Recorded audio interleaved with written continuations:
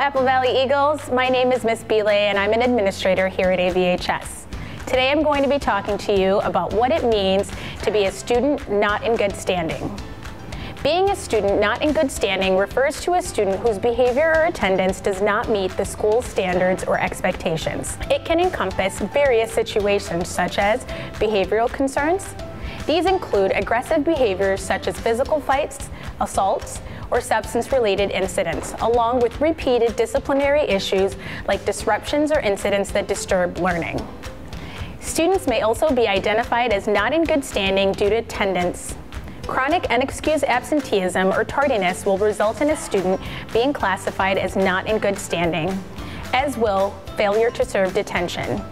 Once a student fails to serve detention, they will be issued two warnings. Upon the third instance, the school will notify the student that they are no longer in good standing. Now let's discuss what the consequences associated with being a student not in good standing are. Students not in good standing will experience a loss of certain privileges, such as participating in clubs or activities after school, attending school events, including but not limited to sporting events, performances, school dances, Additionally, students may be barred from obtaining a parking permit in the future.